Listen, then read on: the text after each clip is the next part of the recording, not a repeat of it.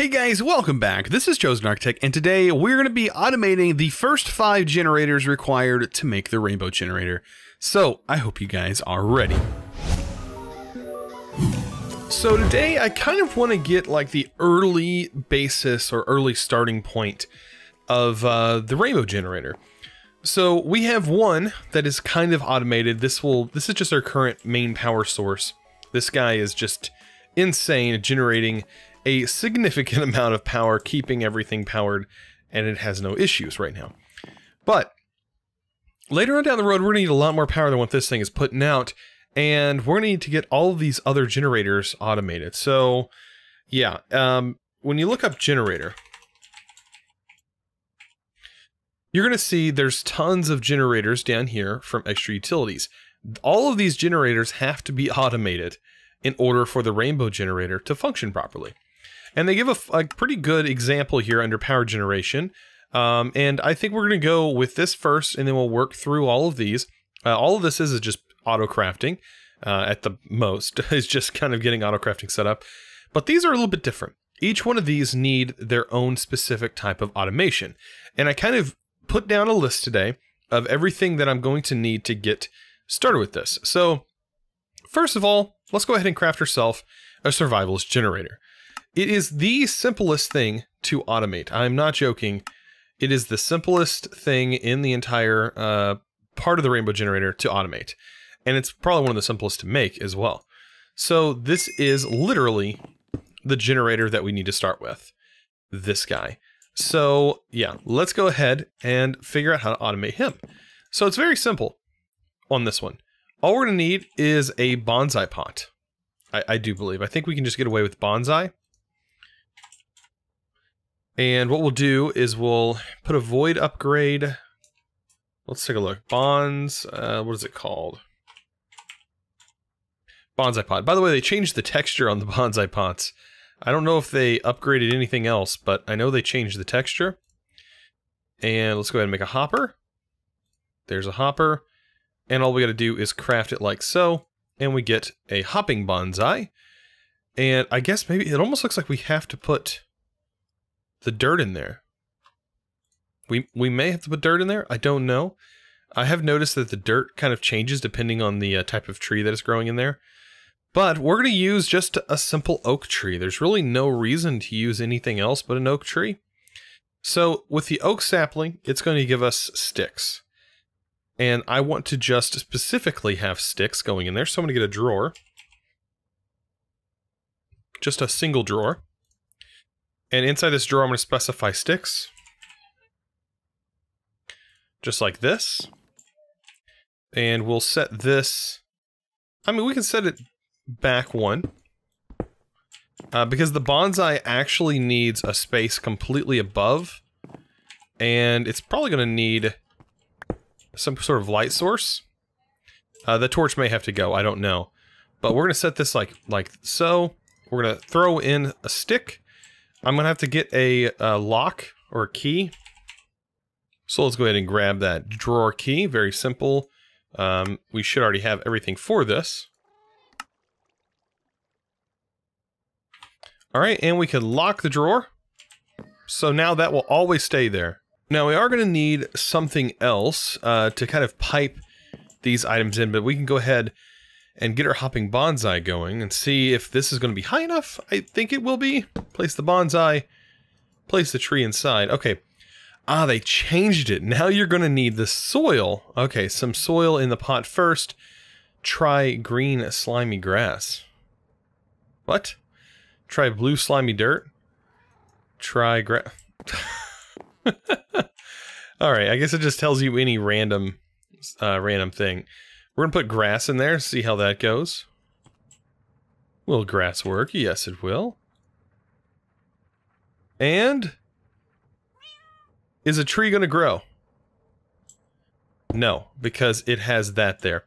Alright, so the torch cannot be there. It has to have a empty space in order for this tree to grow, but it should only produce sticks.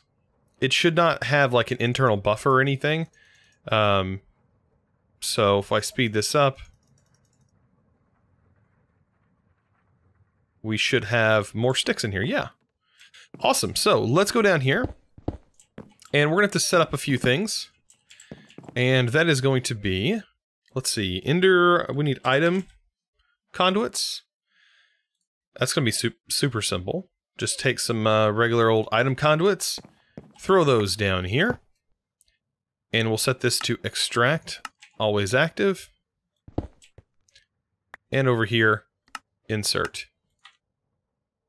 Um, I guess the top piece didn't connect properly. Oh, I unchecked extract when I wasn't supposed to. Uh, there we go. Now, it should be set properly. And this technically should pull out of the drawer and pipe in here. There we go. As you can see, a stick's gone in there, and you can tell this stick's going to last a long time. It lasts 50 seconds for this stick. We could put other things in here. We don't have to put a stick. We can put logs. We can put wood. Uh, that would just make it last a little bit longer. This is not that big a deal, though. All right, so next thing is the furnace generator. I'm just going to set it here for right now, because technically I'm going to use this to power the same thing. I'm going to have the same setup going for it. So let's just make another furnace gen just to have it here so everything's in order. Let's see, do I have everything? Yes. Furnace generator, and let's place the planks here. There we go. We can take this uh, later on, and like I said, we'll put that roost on top of it, and that will power this. As long as this gets coal, we should be good. Um, actually, we can probably just go ahead and put some coal in here. Uh, we have some coal blocks, so that will last quite a while. It'll just fill up the internal buffer, leaving this coal actually in here, and everything should be good. Okay, so after we've done that, we have another one to go to, and that is the culinary generator. And this thing is a little bit different. Uh, let's take a look. Let's get uh, let's get some of this as well in here. Some painted glowstone, so we can get rid of these torches. That'll just make it look a little bit cleaner in here, so we don't have torches all over the place which definitely don't look the greatest. There we go. Perfect. Now we can clean that up, and that'll look a lot better. Even right here, we throw a torch right in the center. Torch. throw a painted log, or whatever in the in the middle. All right, um, so culinary generator, that's going to be a little bit easier to do. Um, we have slime. And if we took a look at the culinary generator, We'll pull that up. Culinary generator. We I think we have everything to make one. We need a furnace generator. So I'll take that make a furnace, furnace generator. Then the culinary generator. Awesome. Culinary generator can do a few things. So it does work on slime. I was looking through the list of possible options for automation that would be a little easy to do. And I come across slime. Look at this. Slime balls of the different colors uh, from Tinkers. Well, I'm pretty sure we have slime saplings. Um, I know we have slime balls, but I'm almost positive we have slime saplings. Uh, they're upstairs somewhere. Also, I do need to go ahead and activate... I do have a teleportation wand. I need that because I'm, it'll be helpful going in and out of my uh, base. But I'm almost positive. Yeah, I have these slime saplings here. Um, I don't know if this will allow me to grow it on normal dirt, though. Uh, slimy dirt is something that normally you have to get from this mod, but let's see. Can I make slimy dirt? Or can will they grow on mud? Like slimy green dirt? Oh, we can make it. that's perfectly fine. Oh man, that's that's gonna make it really easy. Alright, so we'll go ahead and do that because we're gonna need that soil. I'm going to use blue slimes, I guess, because that's what I have. Uh, don't I have blue slimes? I have purple slime. I guess we could just, we'll just use this to make just green slimy dirt. That doesn't really matter. Uh, and we'll also make another bonsai.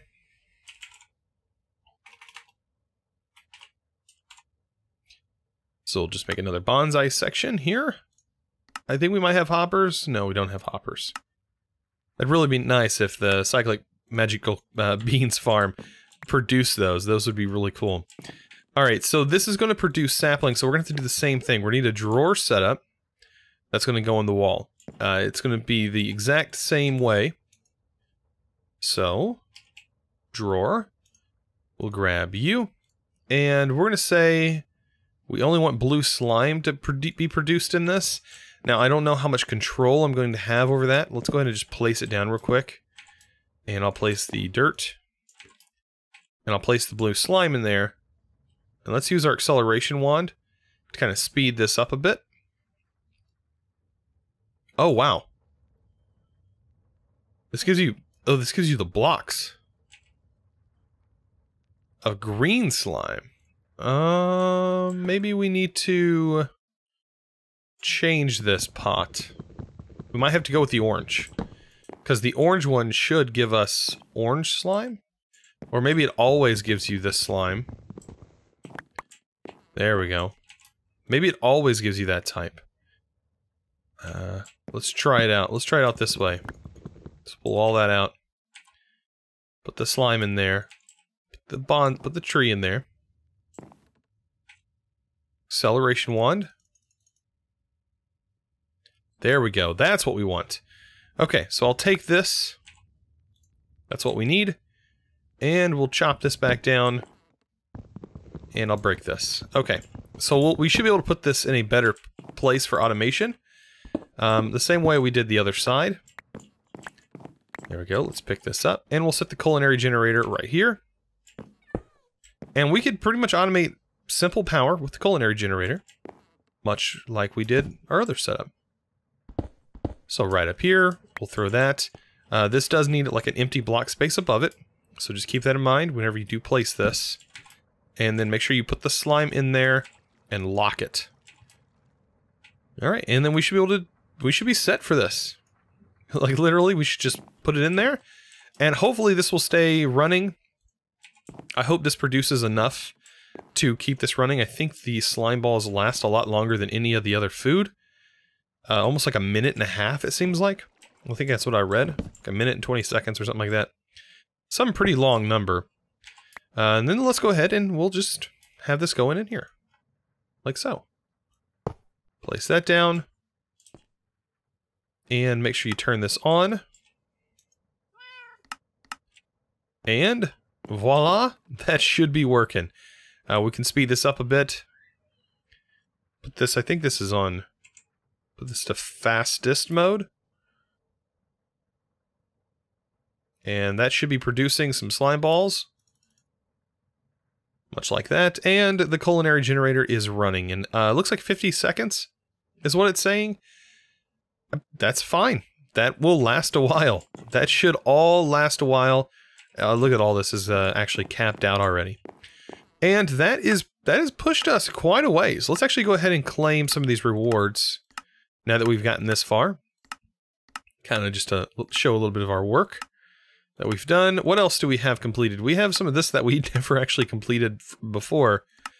Uh, maybe we get some really good loot from these.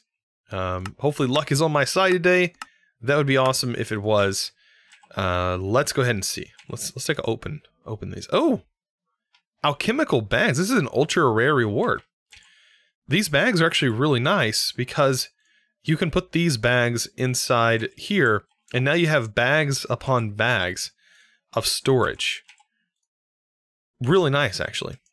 Okay, so let's go ahead and get rid of a few of these items. I'm going to get rid of the alchemy bags uh, just to save some space.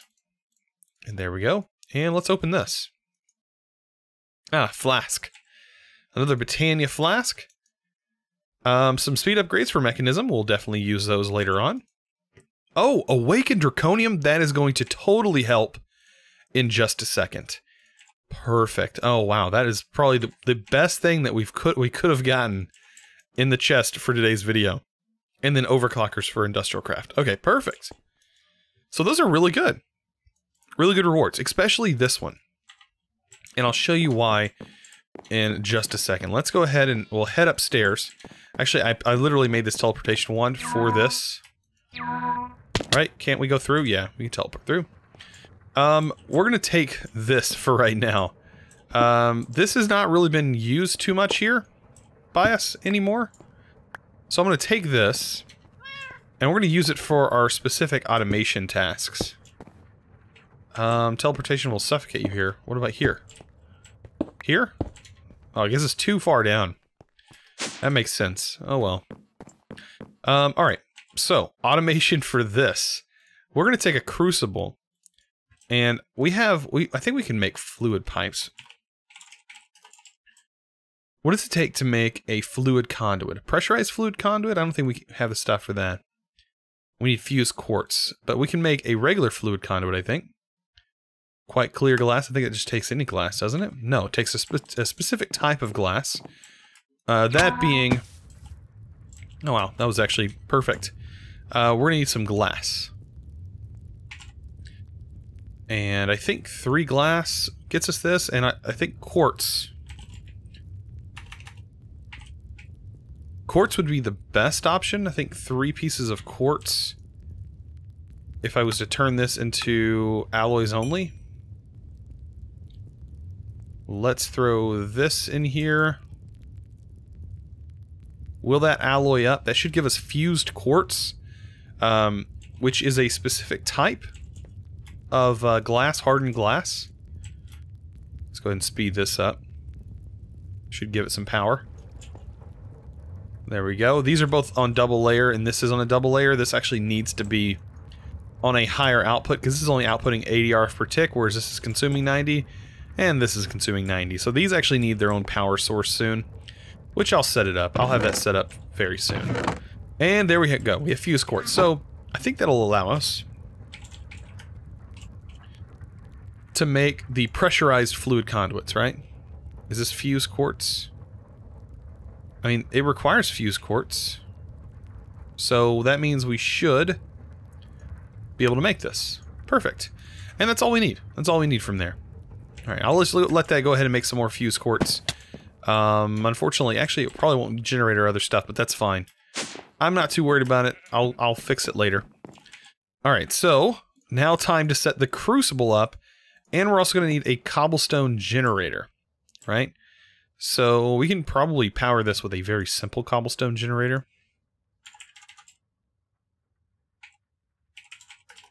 Cobblestone generator tier 1 uh, we're going to need a, two buckets. Two buckets. A bucket for water, and a bucket for lava, of course. Super easy, though. Let's go and grab our water. I think we have... Almost positive. Yes, that was a whole bucket. Okay, good. I was about to say, that was not going to be good if we didn't have a complete bucket there. And that should go here and here. Perfect to upgrade this. Upgrade it again. Like to upgrade these things, don't cost too much. There we go. We should have all of that. And last but not least, max tier. So yeah, this used to be something that was hard to get. I can't believe I threw stuff out of my inventory. Um, that used to be hard for us to get, but now it takes no time at all. We have like over 2,000 diamonds at this point. It's not even a thing. All right, so the automation for this, I'm going to put this all back behind this wall. And eventually we might actually use this lava gen um, for something else. Uh, we are going to need item transfer pipes again. Or item conduits. So you need item conduits, fluid conduits. Oh, and we also need a magmatic generator. But of course, we'll get that in a second. So let's go ahead and just place this down, right? Right here is going to be our furnace, so I'm going to put it right here. And right here is where everything is going to go. It's really nice to have Awakened Draconium, though, this close. Uh, but Awakened Draconium, if we take a look at this, gives us 120. It's like the max you can generate in lava here. Like, I don't even think this cobblestone generator is going to be able to output fast enough. Like, I seriously don't think so. So we'll set that to extract, always active, insert. Like, it's probably not going to keep up. Um, is that going to work, or do we have to do some sort of chest? No, that will work. Okay, so yeah, now it's starting to work. Um, like I said, this has already produced almost a full bucket um, and I think we're going to need if I take a look at the magmatic generator, it's going to need a bucket of lava. Okay. Good to know. Let's get a bucket. We'll use its current automation to pull it out of here. And there we go.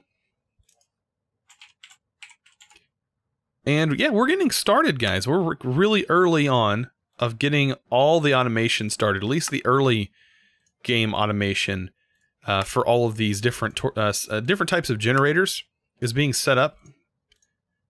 So it'll make it a little easier on us down the road whenever we actually get like another star farm and stuff like that set up. Some easy things to set up like that. So there's that. And now all we have to do is hook up our new fluid pipe. That'll be insert. This will be extract. Always active. And that should fill with lava. Filling that with lava. And guys, that is done. So, let's get some stone. And let's cover everything up. Cover the mess that we've made. Much like this. Um, I think we'll leave that open for now. Because I mean, honestly, these are going to consistently run. This is probably going to be the only issue that we ha will have to fix later on. We might have to have more than one of these going at once just to provide enough slime. Can this run off of normal slime? I don't think it can. Let's take a look. Let's actually try that. Slime. Or is it only Tinker Slime? Because I think Tinker Slime technically has a food consumption mechanic. Yeah, it definitely does. Okay, so yeah, that's a thing. It will only consume the Tinker's version, which works. And of course, this is going to generate quite a bit of power um, as it just kind of idles and has infinite lava. All right, so last but not least, let's take a look at this one. So this is the um, heated generator. Now, this is going to require the same steps, uh, but this one's actually going to get uh, redstone. Uh, we're actually going to connect it to the same automation setup that we have going on right now with our other one. So let's go ahead and make another furnace gen. Looks like we were running out of these machine blocks. So of course we need another furnace. You know what? I'm just gonna make I'm gonna make a stack of furnaces, just to kind of hold us off while we make a bunch of these furnace generators. There we go. And one of those, we're to need a bucket, right? Good old-fashioned bucket. Can we pull a bucket out of there? No. Anyways, we're to have to come back here anyways. And voila, another magmatic. We'll take this and a heated redstone generator. Okay, so the automation for this is going to be a little bit different. Let's route our pipe, by the way. We'll hook this into this one. That will give it redstone. Or that'll give it lava, sorry. Oh, and we're, uh, we probably need to just break this whole, uh, whole system. Yeah, I forgot about that. That can be a thing. You need a Yeta wrench to be able to fix that, and we don't have a Yeta wrench right now. So we'll set this to always again, have it extracting, have it inserting. There we go. Now they're both connected. This should be getting lava. But this also requires some redstone, right? So how are we going to automate redstone? Well, a redstone chicken, probably. A redstone chicken is probably going to be one of our best options, and we're going to need a sand chicken and a red chicken. Now, a red chicken is pretty easy to get. We just need, yeah, red dye around a chicken egg. Uh, which we, we can technically get. So let's let's try and do this. Red dye around some chicken eggs. You, uh, it's a one in eight chance to get a chicken on spawn. like to get a chicken out of this. And then a sand chicken. I think we can actually craft a sand chicken. Yes an actual sand chicken spawn egg itself. Perfect. We'll take that, turn him into item form, and he's good to go. Good to go there. Let's go ahead and warp up to our chicken area. And over here is our breeding room. And let's go ahead and get us a chicken. There we go. Oh, oh come back here. Ugh, placing torches. That's always fun. So, yeah, let's just go ahead and get these guys in here. Uh, we're also going to need some seeds. And yeah, it's just a matter of just waiting now. I mean, I can use this, my acceleration wand. That will definitely speed things up and help out a little bit. Um, but the main thing is getting at least a redstone chicken out of it. Uh, and then we're going to get two redstone chickens out of it, basically, to be able to upgrade it to a 10 10 10. And I'll be back once I get this thing going. You guys know the process. It literally is just going to take me some time. And that'll be it. There's another red chicken. So, yeah, we can pretty much throw that in there. It's going to help double the, uh, the output speed. So, I'll be right back and I'll get this done. So at this point, I have all of my chickens. Let me go ahead and just remove all of them but the 16. So there we go. And of course, this one down here. So that way we don't have much, too many chickens crowding up our, our system. All right, so let's pop down here back into our, our other area. Now, I'm eventually going to get a travel anchor down there. That will make life a lot easier, so I have to sit there and go all the way over here and travel back and forth. This is going to be the way that normal people will have to travel. But, you know, for me, being my own base, I should not have to travel that way. Um, so I'm going to fix that. But we'll take our roost now, and our roost is going to go here. We can get, get our chicken in there, and our chickens are going to, from here, produce redstone awesome. Like, and it should produce, I think, 16 redstone a piece, or it may be more than that. Is it more than that? No, it produces three. Okay, so three redstone. You know, out of th- out of 16 10 10 10s. I mean, that seems kind of okay, I guess. Uh, it doesn't take that long, I guess, to get that to work. But all we have to do to fully automate this, guys, is very simple. Just turn this on, insert, and that should start putting redstone in this slot. As soon as the Ender IO conduit updates and realizes that it does have a does have redstone it can pull out, there it goes. And this is going to start generating some power. Look at that. This is actually not a bad generator, to be honest. For early game, this is if you have uh, lava automation, it's actually better than the magmatic generators. You do have to provide this with redstone, give you know, given that. But this should be able to sustain this fully. But guys, we've gotten five different generators from extra utilities pretty much fully automated at this point. Um, so if we have to do any modifications later on, we will definitely be able to do so. Now, this is going to have its power maxed out, which means over time, while we're doing other automation and things like that, this drawer is going to fill with the slime balls. So I think that whenever we need to actually get this thing up and running and to start the rainbow generator, this thing will be up and ready to go. And it shouldn't be too hard for this thing to stay continuously running. It will have a buffer. Same with this. This is going to have a buffer in it as well. And yeah, over time, it just won't take very long at all. I do. What, what is up with this? Why is it acting funny? Okay, so I. There might be an issue is it because there's it needs more space? Oh, I think they've changed the way these work. Yes, they definitely did. They totally changed the way these work. So what I'm what I think you're gonna have to probably do, I, I am gonna have to cut into this a little bit. We're gonna have to use this drawer. And I think we're gonna have to specify what we're actually dropping down in here now. Because I feel like this is not doing what I want it to do it, it basically, this is getting clogged up now.